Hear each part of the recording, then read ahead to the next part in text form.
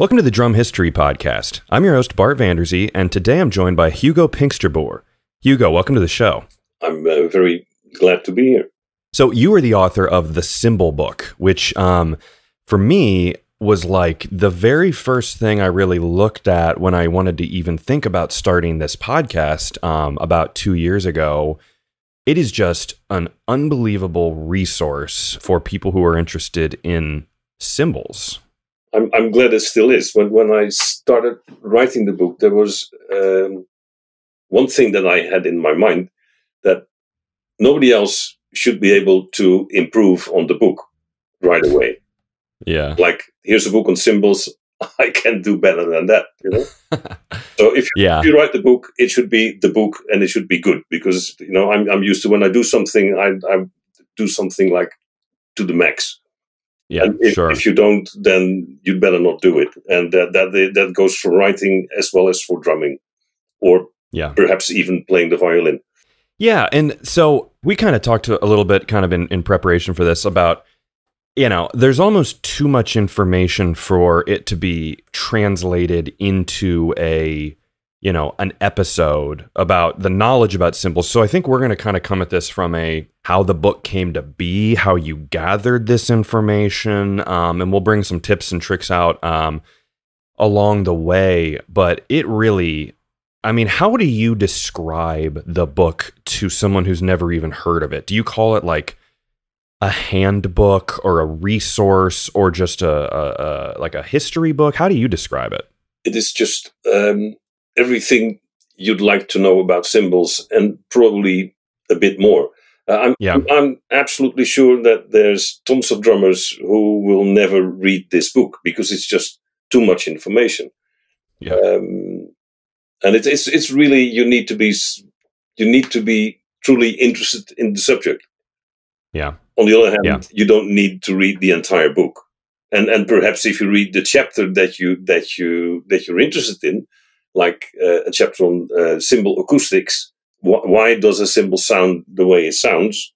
Or Yeah. chapter on uh, how you can influence the sound of a cymbal, or the chapter on setups and different ways to, to think about that, or well, any of the other chapters.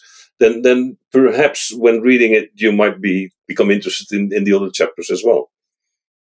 Yeah, that's a great point of how it's broken up where I like it because um, I I actually did it where through a library I kind of got you know a, a, a digital version of it because for me it was like it was like midnight and I was working on this Zildjian thing and I was like um, just trying to put all this stuff together and you're by chapter so so there's like sub there's there's chapters like the companies historical dates there's all sorts of things about cymbal care and and like you said there's like the technical stuff like why they sound like that so you've got a lot of like company names that and I've been, you know, really looking and researching a lot of stuff for the show and there's multiple brands that you have that I've never heard of. Um let's go to the the first kind of broad discussion of how did you put this thing together?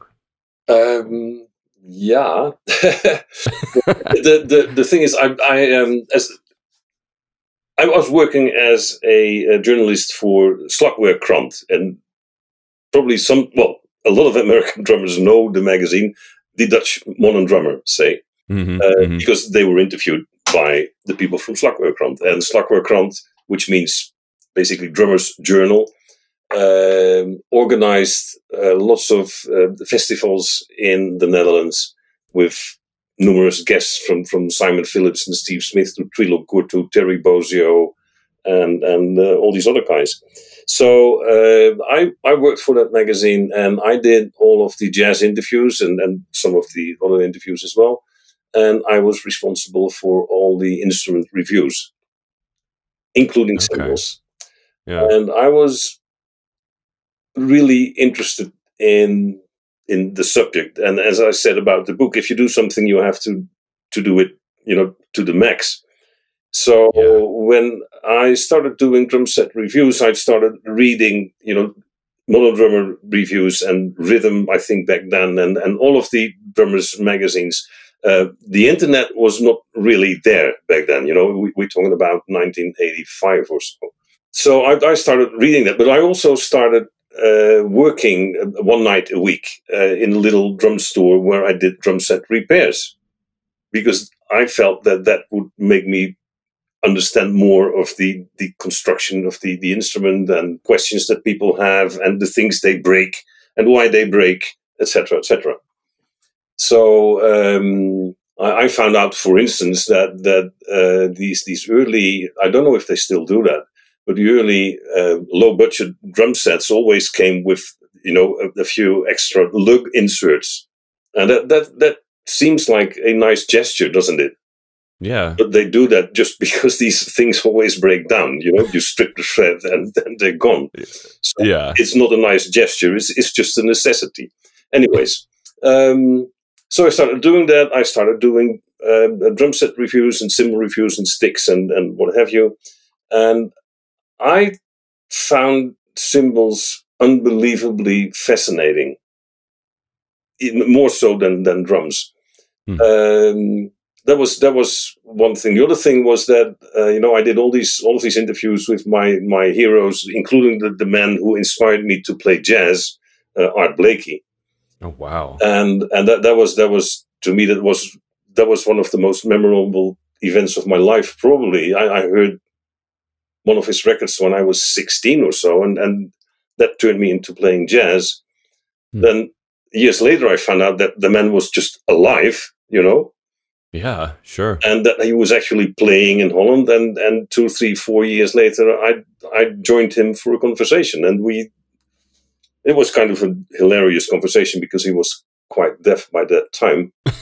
and so he, he, he, he told a story about how friends of his had bought him a new drum set. And that they asked him to come down into the garden and they had put his old drum set on fire and there was this new drum set, something like that. And I said, Whoa, that must have been a nice surprise. He said, What?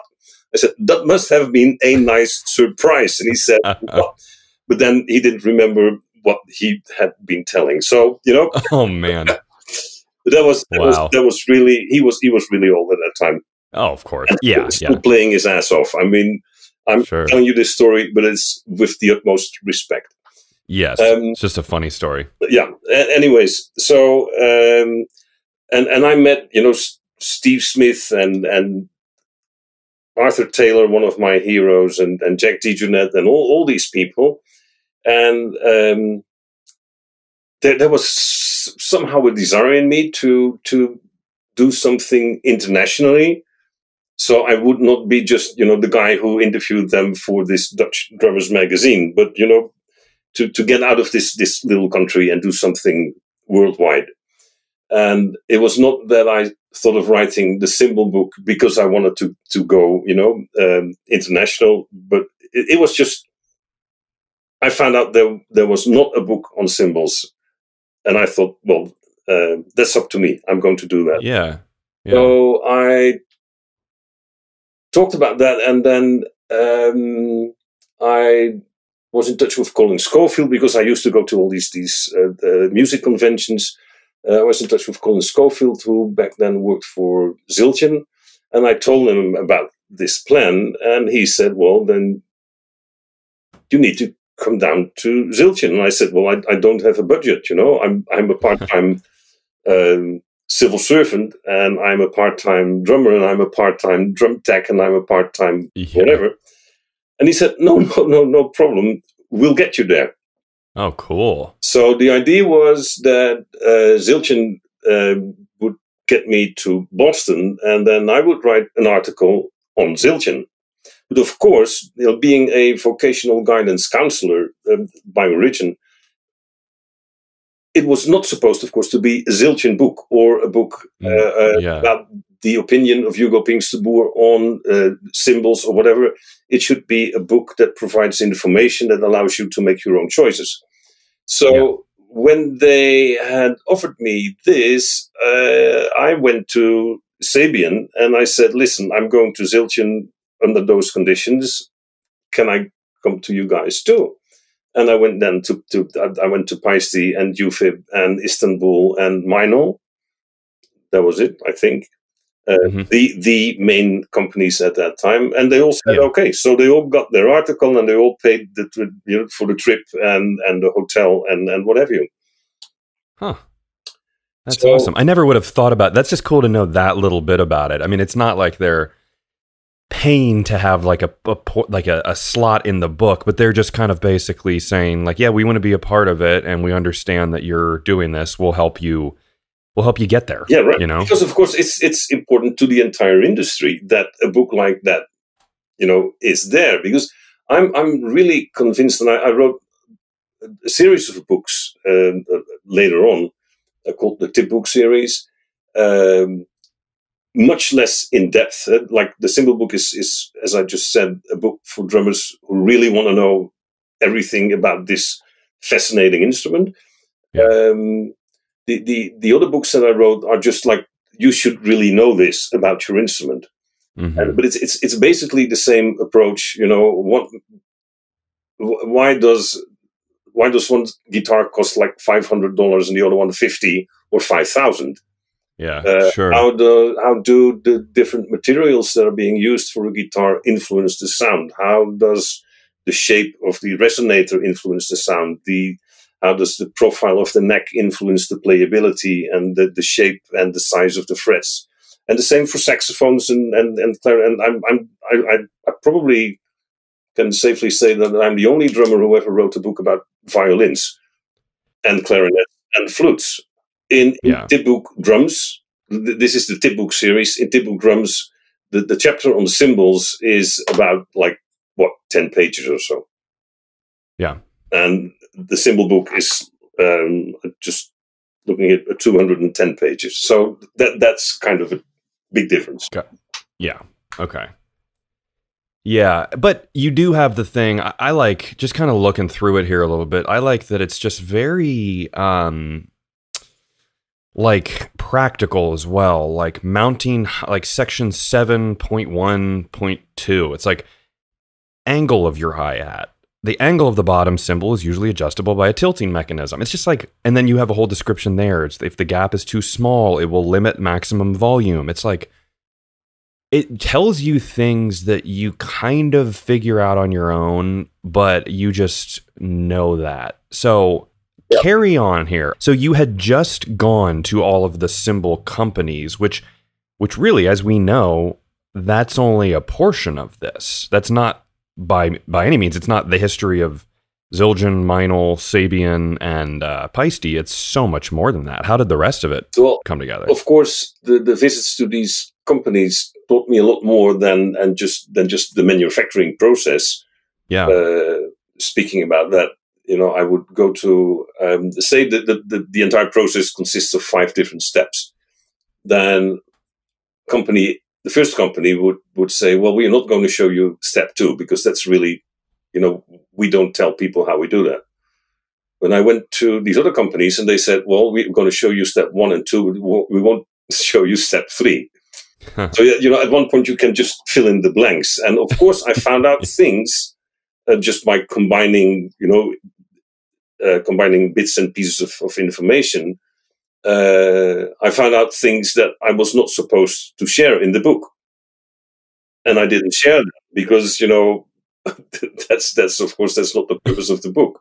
Yeah, no. it, it, was kind of fun. You know, they, they would say we, we're not going to tell you, and I said, well, okay, you you you, you don't need to. You know, yeah, because I already know. Um, so so that's that's about the, the, the production but they also of course told me about the, the, the history of the company the, the history of the manufacturing process that they use uh, but also about cymbal acoustics and about um, about testing cymbals and and uh, assessing their sound and and you know, I, I was talking to the cymbal experts of the world uh, yeah. and and that that taught me a lot, a lot.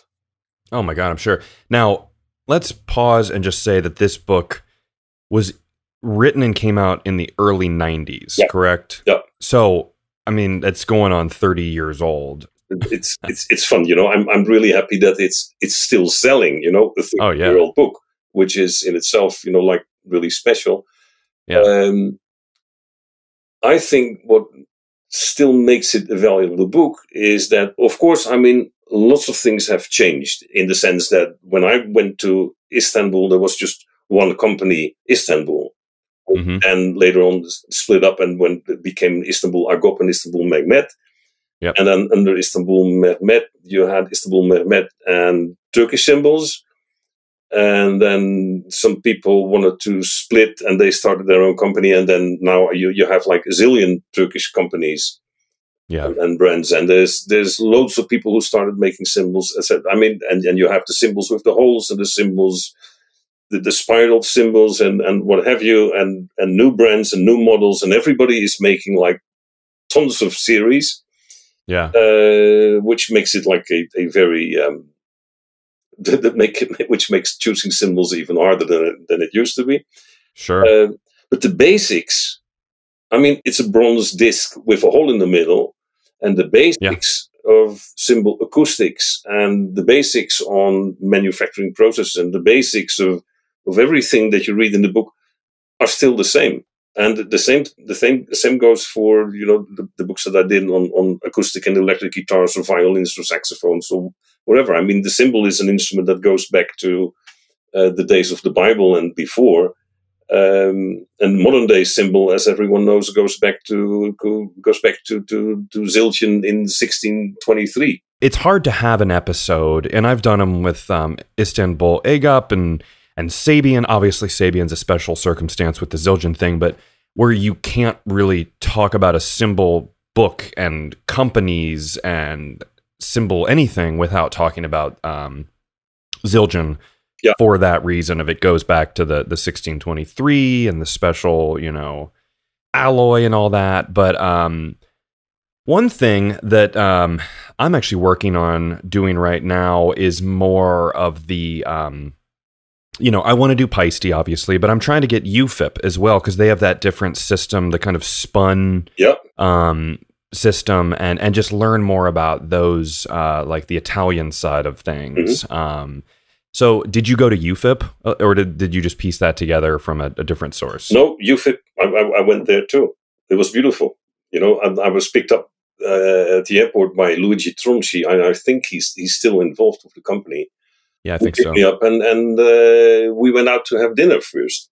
Wow. And work is like the next day. While in in Germany, you come into the company. I, I, went there by car. You know, it's like like a six hour drive or so.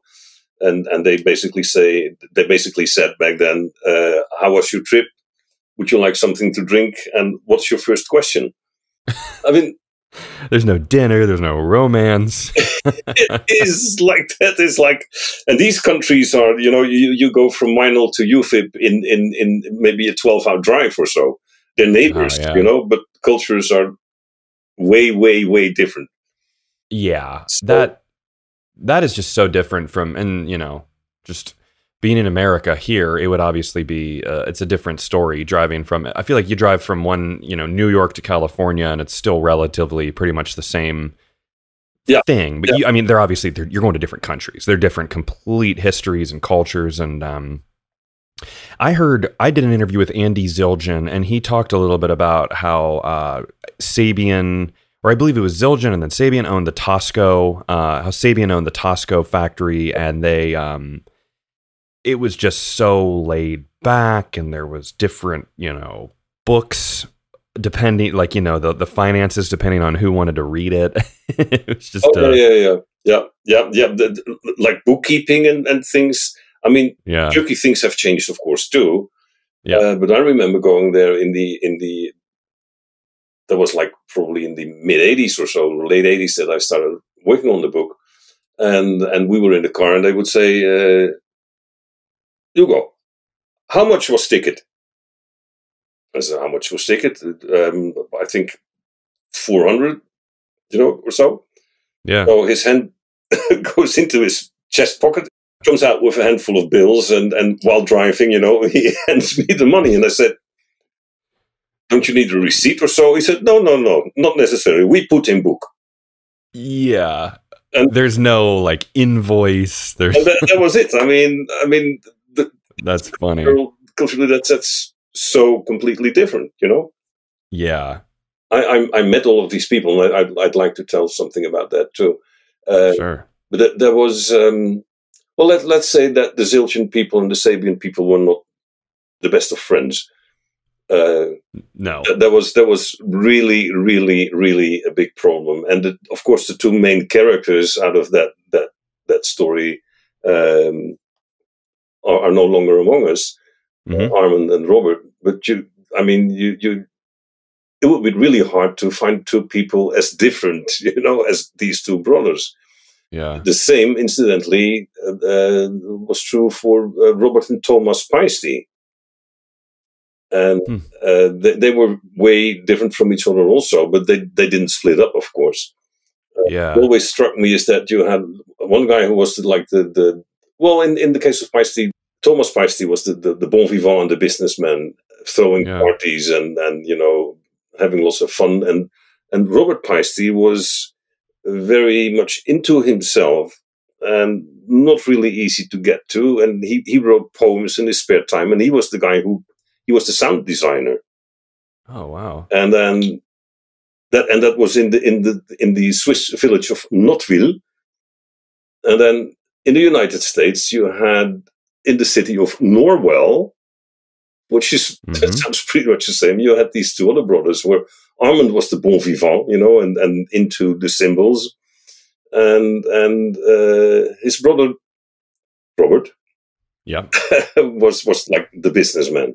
Yeah, and Robert was not absolutely not happy with the fact that I was writing a book on cymbals. Really? Why not? Uh, he, he basically said, "You're a journalist, and you're going to destroy everything, and you're going to talk about everything that we don't want you to know, and you're going to spread all kind of information and so he, he was really he was actually really against it but luckily uh, i was good friends with wayne blanchard but you're very respectful of everything and like you said it's a unbiased there's not an opinion there's not really much in the book where you say this is what you're going to want to use like you like this and but but on that note what is your personal preference? Like, are you a Zildjian guy? Are you a Paiste guy? Or what, what do you like? Basically, old K Zildjians. Okay. And there's a, a, 22 and 18 and a pair of hi-hats. The, the, the, the hi-hat is, is, pictured in the book, the top cymbal. And um, if you put the top, top cymbal on, on a table and you put the clutch in, then the clutch is supposed to make like a, a 90 degree angle with the table. Mm-hmm. Well, this is an old K and it, it, it, it leans to the right. Oh. You don't have to look closely to look closely to see that. it's just doing circles, the, the, the, the lathing grooves around the cup. Yeah. At the, groove that's at the bottom of the cup on, on one side goes sort of halfway over the cup on the other side. And the top cymbal is uh, just a bit smaller than the other one. And, and, and of course, all, all of these cymbals are self tilting. You know, yeah. the hole is never in the middle, and and what have you. And the, the fun thing is, I, I took these these old uh, hi-hats. Tal Bergman was at my place for a couple of days once, and and he played those hi-hats, and I said, Tal, I have to get some groceries or whatever. I came back 15 minutes later, and he was still playing those hi-hats. You know. Hmm. Man, he, he, really loved them. So I, I took these cymbals when uh, with me when I when I went to Turkey, one of my visits to uh, to Istanbul, and I said, to Mehmet, can you make these cymbals? And they started, you know, trying to mimic these cymbals. And they, they were a nice pair of hi-hats, but they didn't come close. The, the thing is that some of the factory workers had those cymbals of me in their hands. They said, you want us to throw them out? Throw them out? Why? it's bozook, or it's rubbish. Oh. And they didn't have any appreciation for the fact that these were like uh, the, the, among the most sought after hi-hat cymbals, you know? Yeah. True, old, K, crooked, warped, yeah. what have you, you know? And so the old Ks were were those the ones that were then those old Ks would have been made in Turkey, in Turkey. with that yeah. with and I heard something, uh, and you would, I mean, again, look look at who I'm talking to, obviously, but you, uh, so I heard something about how in the old K factory, there would be something where they would try and I guess there was maybe a stack of cymbals and they would shape multiple of them at one time, and the ones that were lower in the stack didn't get quite shaped as well. And those were the ones that got sent to America, and the ones that were like the more crisp top cymbals would stay either in Turkey or, or elsewhere. And the whatever it was that wasn't quite as, you know, sharp and clean as the rest of them is what became exactly what you're talking about. And obviously yours wouldn't have been in America. So as I'm saying that, I'm like, well, you probably got one of the different ones. But they left Turkey and they weren't like it was like a different I, I, I never heard that. I mean, you have so many conspiracy to theories today. Um, yeah, I never heard that story, and and that might have been Andy Zildjian who said that. I can't remember. I got to listen. I'm getting yeah, it all mixed he, up now, but he, he wasn't there. And and when I no, you're I've right. seen uh, in in Turkey and and how things go there, they they didn't even take. You know, they didn't they didn't go through a process. I, I can't imagine that they did things like that because they just make cymbals. Yeah, uh, sure. And nobody, I mean, nobody is going to select. Well, this one is a little bit better, so we'll send that too. They just did yeah. it the way they did it as as as as craftsmen, you know.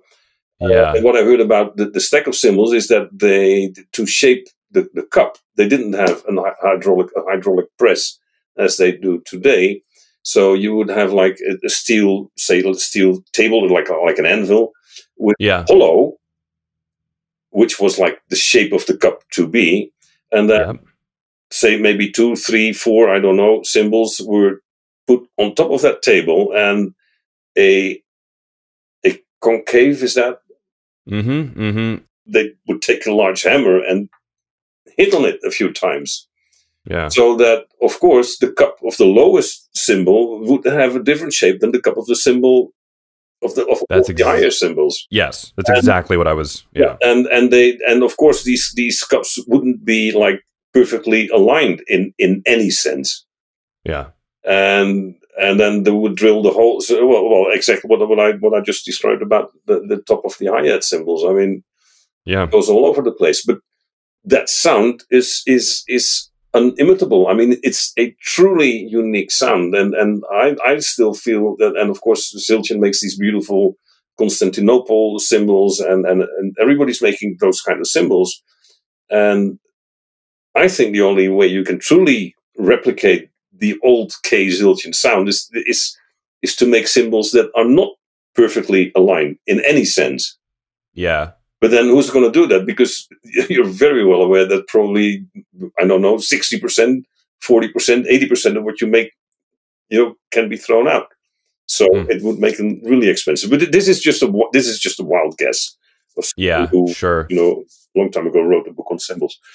yeah. Well, all right. So back to the book here. Um, so you did the brands, there's all that stuff, but I just really think it's it's it's valuable and cool that you have the information on like it's great to learn about all that stuff, but it's it's also got very practical information about like cymbal care, mm. about cleaning your cymbals, which I mean I when I was a kid bought some I forget what it was. It was like a little like like goldish like tin of some stuff and I was too young and I was like trying to clean like a I had like an A uh, medium ride, like a just a standard like Avedis medium ride, and um, and I remember trying to clean it, and I think I was just uh, too young and I didn't know what I was doing, but um, since then I've never cleaned my cymbals ever, and I've heard the debate about it's good to clean them, you know, people will clean them every day.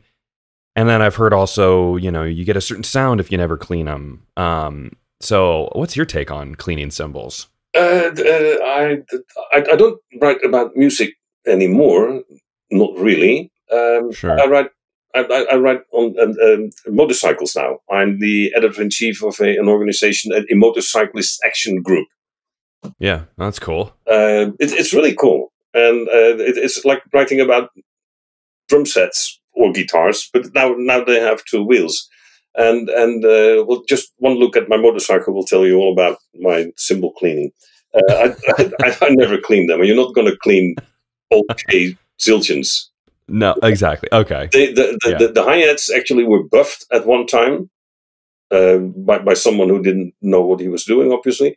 Uh, yeah. I, I, I don't mind because I, I like the way the, the really off way they sound. Um, I, I don't clean them, and I don't clean the other cymbals as well. I, I, I use I use, and that's that's one of my my big loves. Uh, a 22 inch Pang Zildjian. Yeah, sure. I have a a great, extremely low sounding 16 inch uh, new K Zildjian Crash. Um, and I have uh, quite some cymbals from the, the, the Istanbul factories, uh, like like Turkish cymbals and and uh, in Istanbul. It, just just like a few weird ride cymbals, and and uh, when I when Turkish cymbals started, uh, you know, coming off of the the, the Istanbul Mehmet uh, company. Mm-hmm. I said you really need to make some cymbals that are different from what the others do, um, while sticking to the to the to the four main series that you should make, in my point of view. And sure. I asked them to make me a really thin, unlathed ride cymbal, and they did. And it was a 22 that weighed about as much as in as a regular lathe 20. So it's very, very flexible. And then they made me an 18 like that as well. And it just is it's like a, a very different sound concept. And um, I sometimes like to play those, you know? Yeah. It goes up and down. Variety. And cleaning, I, I, I totally accept that and, and appreciate the fact that people love to play clean and shining cymbals. And I also totally appreciate the fact that there are people who don't. I, I don't. That just you saying that there's that's the beauty of the drums is you can see someone who likes to have their tom perfectly flat someone who likes to have their tom completely you know tilted forward and everywhere in between mm-hmm. like your cymbals are it's just we you know it's a way to express ourselves or you know clean off take off the labels like certain drummers and stuff. It's like tuning your 12 inch tom tom might sound way lower than my 14 inch floor. Exactly. around or whatever. And and and I love to experiment with that. And uh, at one point, I played with a, a very well, no, no, like a, a bebop tune, eighteen inch drum, an extremely high ten, and a, a sixteen inch floor tom that was tuned as low as it gets. And okay. that yeah. inspires me basically to do other things. You know, it, it it, you, you can do whatever you want with a drum set. Yeah, we're and you free spirits in the musicians' world, aren't we? Not yeah, we are. No one tells us what to do. You exactly. you tell me to clean my cymbal, I'm not going to clean it. Yeah. you you put you also have a danger. I like that you also say the danger of it's just like when you look at this book, there's just basically everything kind of gets answered. Where you talk about how like there's almost like a protective film on newer cymbals that you don't want to use these things on the, the cleaner on because it could it could go away. Um, so and then auto polishing compound ketchup it leaves ketchup leaves a residue and doesn't like that's just so. Yes, I remember that one. Did you experiment with this stuff? Were you out there with like ketchup on your cymbals or or a cymbal, I should say, or is this just word of mouth? That was probably word of mouth, and it was literally word of mouth because internet was not really happening, you know, in in the late eighties. No, I, I yeah. don't even remember when when I had my first internet connection, but it was. I mean, this book, uh, the, the layout was was done, you know, just you know, sticking pieces of paper to another piece of paper. It was like with scissors and glue. Yeah, absolutely. Uh, I've heard that with not so modern drummer. Um, you know, famous publication John yeah. Aldridge was on the yeah. show talking about that. Aldridge, yeah yeah, cutting things out and they're printing it and wherever they can get a printer and uh um so then let me also ask you here one thing that I think is really interesting is the the segment on um cracked and broken cymbals mm-hmm. um, because this is something that I've never I think I drilled out one cymbal I had an A custom that had a crack and I drilled it out to stop the crack but um again, I feel like I'm not a very handy person, or I feel like I'm more like, I don't know, like not like I, I do more damage. Again, similar. So I am also I like I like motorcycles as well. Mm-hmm. I've done it, but I'm on the other end where I've done it where I've, you know, I'm going to put some air in my tire and I put too much air in and it somehow caught a nail on the actual, Ouch. like the wheel hub and popped the tube and I had to get it all new everything. So yeah, like, yeah, yeah, yeah. so um, yeah, been been burned. Um, now, what's just kind of go tell us a little bit about broken cymbals because there's there's the drilling them, there's cracks on the edge, there's cutting it off. Like if if I have a broken cymbal, can I make it sound good still? Yeah, it depends on, on your definition of, of good sound. Uh, good answer. I'm, I'm yes, I'm I'm boring. I'm I'm just giving all of these answers. You know that that you can't do anything with, or you can use it and do as yeah with it as you can. Um, seriously, I, I, mean, I, I know a guy in, in Holland who would just like turn uh, 16, 16 inch cymbals with a correct edge. He would turn them into 14 inch cymbals, and they would, of course, be more uh, of a bell type uh, cymbal sure. After that because the, the, the, the, the shape, the bow relative to the size uh, is different but also yeah. the um, you know the, the, the, cymbal is thickest at at, at, at, at and and around the cup, and then it's mm-hmm. thinner towards the edges. And if you remove these thin edges, then the cymbal won't respond as as fast. Yeah. So, um, but you, you, I mean, you can either throw it out or do something radical with it. I I, I, I remember that in the workshop where I used to do these these little repairs, and it's by no means professional what, what I did there, but it was just, you know, I, I would do things and learn things from it. Uh, there was yeah. Tosco that had uh, a, a, crack that came from the outside and went in like maybe an inch or so. Uh, and there was maybe two smaller cracks in that same area. So it, there's actually a photo of that cymbal in the book. Um, so there was like a very broad V shape that I cut out of the edge. Yeah, I see it. then I I took uh, four rivets and I, I, mounted two rivets on each side because that was of, of course the lighter side of the cymbal because there was there was just a section missing there. So yeah. the cymbal would tilt itself, you know, towards the place where the rivets were not because they would be at the light side. And and I've I've used that cymbal a lot, and of course, being a ride cymbal, it, it wouldn't crack that much. Uh, it, the, the, the risk of it cracking more yeah. than it. I mean, I, I never cracked cymbals. I, I I'm, I'm, i was a very bad customer for the st- stick industry as well because I actually love sticks uh, where the wood tips sort of splinter away so that you get this bit of softer sound. Yeah, exactly. I'm not in the stick breaking or in the cymbal breaking uh, area. No, but if you do, which you know, in your lifetime of drumming, it's bound to happen at least once with maybe a crash or something, or um, thicker cymbals I know do too. But I, I want to mention too that you you have a little bit here, like a like a, an image, uh, or I guess you'd call it like a a figure on the page that's that's two cymbals where it says you don't if you do cut it out like you know trim out the the the the like a, if a chunk comes off you don't cut it at a point because that creates further cracking. Yeah, which actually, you're looking at page 106 now, not because I remember the book by heart, but I just looked at yes, section. I'm on. I'm on 106. Yep. 106. There's the Tosco cymbal with the the the, the wide V-shaped uh, cut. If if you if you um, cut out a cymbal and you you make sharp edges uh, in in the cymbal, so you, you don't cut out a, a wide V shape, or you, um, or so you should avoid in that V shape that it actually has the the the, the point where the two legs of the V come together. Mm-hmm. That should be a smooth um, corner, if you will. I mean, yeah. Uh, if you have sharp edges, the, the, the cymbal will absolutely start cracking there. Can I? All right. So, and this is, I think I would know the answer, maybe, but can you answer why do cymbals crack? What is the reason that they crack? What is a cymbal that's more prone to crack? You know, just in, in theory, do you, you have any thoughts on that? Um, I think cymbals crack because they're not played. They're not being played correctly. Hmm.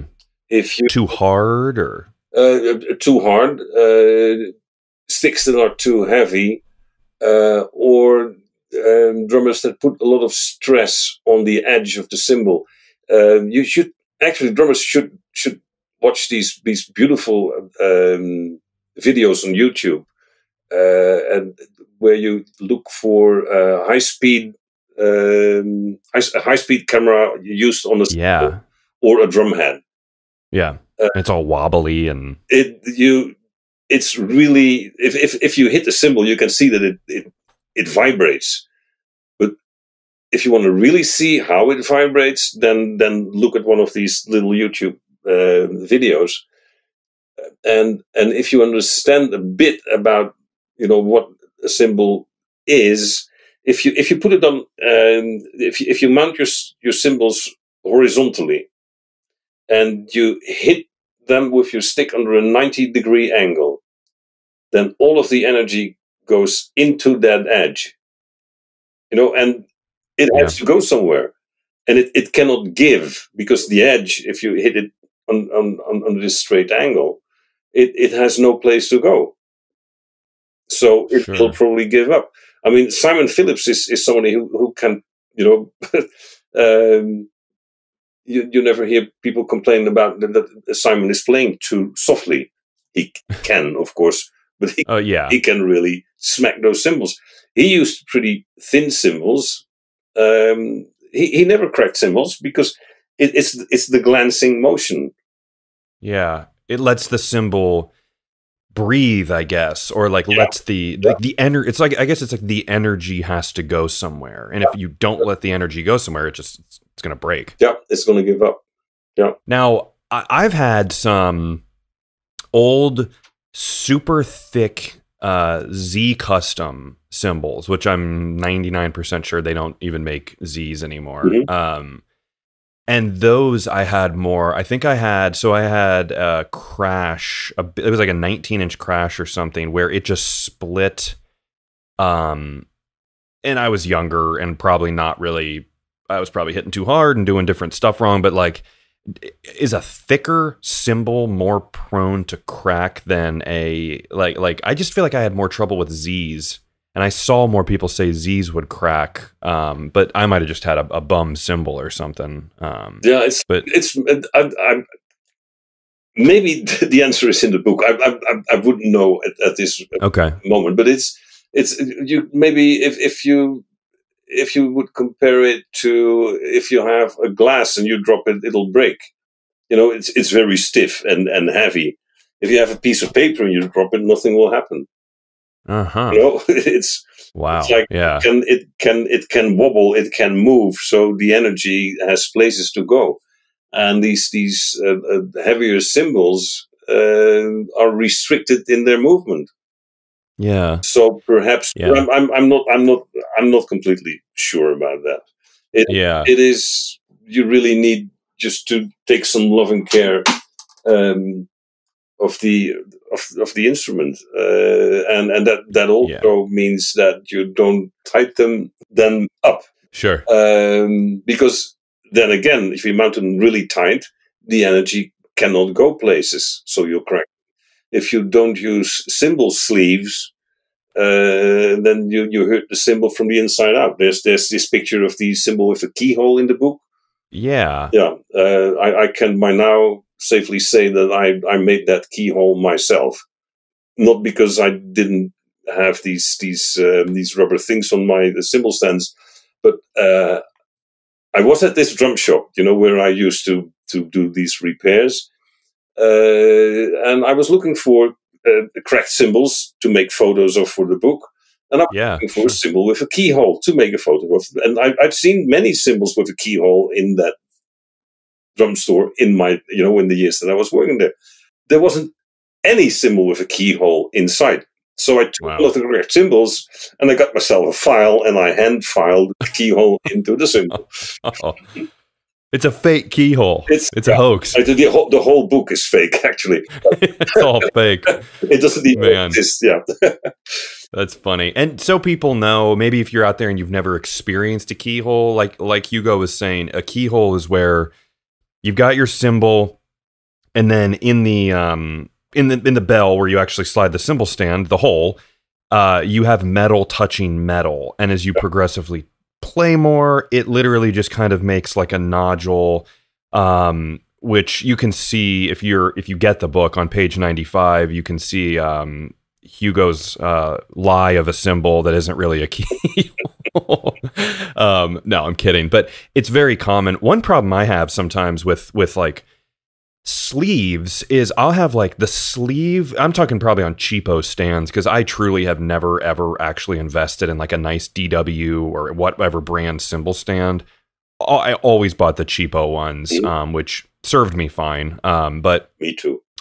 The sleeve will be very high up on the threading of the, you know, arm where the cymbal stand, the actual, you know, where the cymbal sits so I can never get enough tension down on the um, cymbal to get you know some control. Um, now I do that's maybe on one or two of my stands, but um, I feel like that's kind of a common problem where I've even had to take like a knife or like a file and cut off and trim down my my sleeve to be able to get a little bit of control. Okay, well, on... I, yeah, I, I I I never controlled my cymbals in that sense, anyways.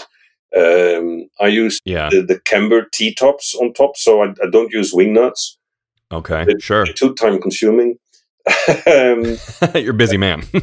extremely busy, and playing every every week. I'm, I'm no, no, I'm, I'm not playing that much. Um, yeah, no, yeah. I, I, love the T tops because you just slide the cymbal over them, and and they're there, and they, you know, the T top is not to keep the cymbal on the stand. The T top is there to uh, prevent the sleeve from uh, creeping upwards. Ah, gotcha. So so that that works fine for me. And it, it, you know, if the sleeve is too long, you just use some extra felt if you want to control the cymbal. To, and bring it up and yeah and i would i would definitely suggest to do that with ride cymbals only yeah uh, because crash cymbals really should you know be able to move because yeah if they don't you crack them and and if you if you crack the cymbal within the the, the limited time warranty, and you you take it to the store and it goes to the factory, then the, the, the, people at the factory can exactly tell you how you played it, how you mounted it. They can they can read the cymbal. Yeah. And if they read in the cymbal that you mounted it too tightly, then uh, the warranty is off. I mean, it's like motorcycle tires. You give you give an expert a motorcycle tire, and he can tell you how you write. You know. Yeah, you're riding like an idiot, and uh, yeah. you didn't. Do, in my case, you're doing something wrong. Um, yeah, yeah. I I recently uh, they actually gave me one, not you know to plug a, a product here, uh, and that I actually really like. I have a kit here at my house that I, I, have it on. Just it's like a smaller little set with a. I just use a ride and a hi hat on it, and um, uh, it's called the No Nuts um, cymbal sleeve, and basically it's just slides down and it replaces the whole thing the whole washer yeah, yeah, yeah. the sleeve. And and i really like it. I i always kind of thought i would see people with i mean obviously the idea of having a cymbal just on there without anything on the top people have done that for a long time. But this kind of has like a higher um like sleeve so it's not going to pop off. Um okay the ease of switching cymbals using that system of just you know pop it on pop it off is great. There's so many different ways to to do it, and you got the little clippy ones that are I don't even know who makes those, where you squeeze it and they um um they clip on. Um, you got guys who use like you know dice that are like you know looks like they're in Las Vegas, mm-hmm. like custom. Oh, yeah, yeah, I've seen those. Yeah, yeah, yeah. Yeah. Those, yeah. I, st- I still read the Dutch Drummers magazine, of course, you know, because uh, of course, yeah. So I get I get to see um, all of these news things that new things that that pass by, and and some of these things are really old things. You know, um, I remember that I think Yamaha came out with the uh, the, the boom arm, the the, the uh, convertible boom stand, where you can actually hide the boom in the top segment of the of the cymbal stand. Ah, you can use yeah, yeah, yeah, exactly, yeah, and uh, as as a boom stand. Um, and then I was at the the um, the company that back then was the the premier um, drum distributor for the Netherlands. Mm-hmm. And uh, in his showroom was a like 19 early 1930s or so premier drum set. It had that same convertible boom stand, you know. Yeah. So many of these things they, they come and they go, and then somebody invents them in, again, or they think they invent them because they never they've never seen that. I'm not accusing anyone of copying uh, copying the stuff. But uh, all the weird things. I, I, just went through the book, of course, this weekend, and I, I saw that. Then I, I remembered uh, there's there's a drummer playing for Weather Report, and they were they were looking for a specific type of sound, and then Joe Zawinul said, "Why don't we try that trash can lid?" Hmm. And it actually sounded great. So they, they they they took it to the studio. Joe's wife was a bit pissed, I think, and they drilled a hole in the middle, mounted it on a stand, and it worked great. Then, but then it didn't it didn't last that long because the trash went away, as the drummer says it. And Joe Zawinul has had many drummers, so at this point in time, I just don't remember who it is in the book. And then a, a little American company actually introduced the trash can lid cymbal. Oh yeah, and they had an ad in Modern Drummer, and I was like, "Are you serious?" That ad of that company just appeared only once, and then it was gone. Oh, I see. Okay. So, um, as we get close to time here, I just want to ask you, what are like obviously this book came out a long time ago. It does stand like alone as a piece of, you know, a resource. Since then, obviously some new brands have come out. There's Dream Cymbals, who um you were talking about the options. This is just a side note. The options of um, you know, cut the cymbal if it's cracked or, or drill it or throw it away. They also do a recycle program where you get a dollar per inch. Um, yeah. But uh, what are some? Have you seen anything cool that you're like, like you know, little cymbal mount stuff that if you were to redo it today, that you would want to include in the book? Well, I, no, not my. I, I, just no. I mean, um, I've been into motorcycles for the past three years, and then before in in all all of these other things. So so I read it, but it, my knowledge is is much more like passive than active. Got it. Um, I would I would definitely want to shed light on on new uh, developments. Yeah. Um, technically, but but then again, you know, the basics are still the basics, and and and these these Constantinople cymbals are really popular. Um, Meinl makes cymbals in that in that same vein uh, mm-hmm. that are extremely popular uh, the Turkish people, and, and they still make these cymbals in the same way. So so uh, basically, there's nothing really new under the sun. Yeah, and and many people have requested me like, why don't you do it again? And and I said, well, you know, I, I don't even know how many of these, how many copies of the book uh, have been sold in these past uh, 27 years. yeah um, but I can tell you, you can't make a living off of it, really. You're not the first, but Geoff Nicholls, who did the drum book, has said he's like, buy it, don't buy it. I don't care. I don't make money off of it. Buy it secondhand from a thrift store. I don't care. Yeah.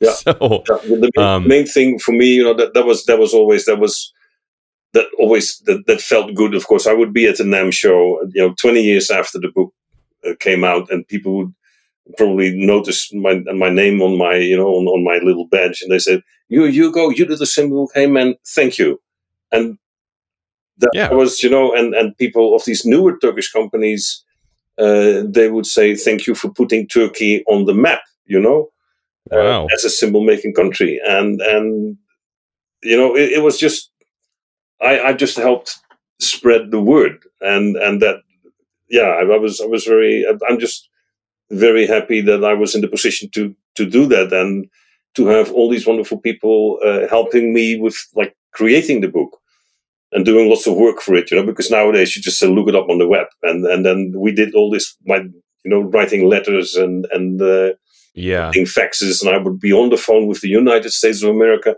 and then they said, "Hold the line," and I would sit there. I was like, like that is two dollars and fifty cents per minute. Can you please be quick? Hurry it up. yeah, it's different now, man. I mean, yeah.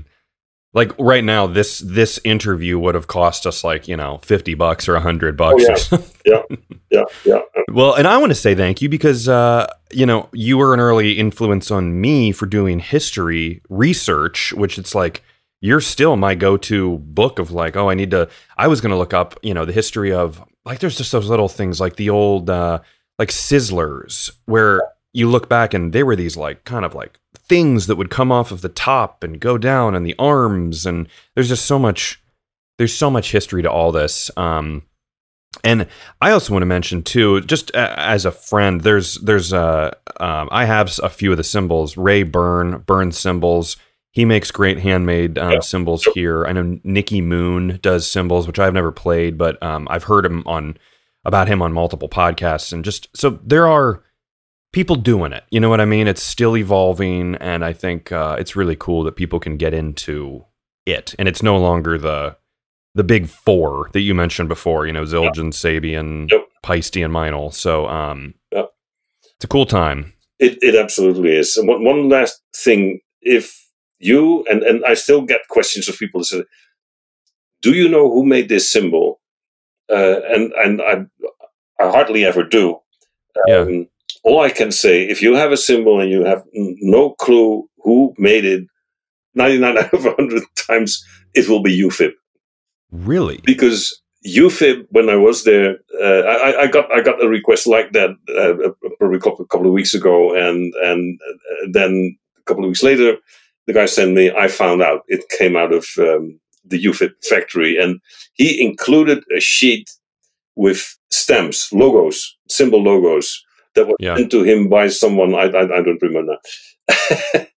And and then I remember that when I was at UFIP, they opened up a drawer and there were all these metal logo stamps that were used for cymbals. They made everything, you know, and often, of course, with a Turkish half moon or a star or both or uh, what have you. They they made cymbals for everyone, and and now, of wow. course, like there's many manufacturers who make sticks for everyone. Sure. Uh, there's there's again there's nothing new under the sun. So they were like the uh, there's so many words for it, like white label or yeah. OEM yeah. or stencil. They were just creating. Yeah. Wow. Okay. Yeah, next to their own cymbals, and of course they gave birth uh, indirectly to the wonderful creations of uh, the late uh, Robert Spizzichino. Yeah, which someone recently, and I got to look up the. Uh, I usually like to give people shout out. Someone mentioned to do an episode on him, and I'm not as I wasn't as familiar, and I looked it up, and I was like oh my god, these cymbals are like two thousand yeah. dollars. Um, yeah. Very rare, and I kind of saw a little bit about a brief history, but so that's another one that I'll I got to find the right guy. Um, there's there's a Dutch guy, a Dutch drummer who knows uh, who, who, was involved with uh, Roberto. Okay, well maybe you can uh, send me his info and get us in touch if you think he'd be. Good guy on the show. Okay. And then someone, I've had multiple people say you should do a cymbal episode, and a few people have said you need to talk to Hugo. So thank you to everyone who did. I can't. It was a while ago, so I'm, i apologize for not being able to remember. Um, and a thank you to Rob Cook, per usual, um, for connecting me with you. Rob Cook of the Chicago Drum Show. Um, gave me your info um, and your phone number and stuff. So, man, Hugo, this is just uh, this is one of those bucket list episodes for me that I've you know wanted to do for a year and a half now. So it's been it's been awesome having you on the show, and I appreciate you taking the time and. Uh, I think obviously we've talked about it a lot. So why don't we just tell people where they can get the cymbal book? I mean, is it the standard, you know, go ahead and get it on Amazon kind of thing? Is that the best route? Amazon. Yep. Yeah. Yep. And if people want, just Google the cymbal book and it'll show up. But um, otherwise, or you can look up Hugo and it's P I N K S T E R B O E R. Check out the cymbal book online. And uh, that's great. Hugo, thank you for being on the show, my friend thank you for having me. And I was actually um, really surprised that we could talk for over an hour about We made it through so long ago, and it, it, it uh, I'm, I'm going to read it again and again. Oh, awesome! Me too. It's always a constant uh, source for me. So cool. Thanks, man. You're welcome. If you like this podcast, find me on social media at Drum History and please share, rate, and leave a review. And let me know topics that you would like to learn about in the future. Until next time, keep on learning. This is a Gwyn Sound podcast.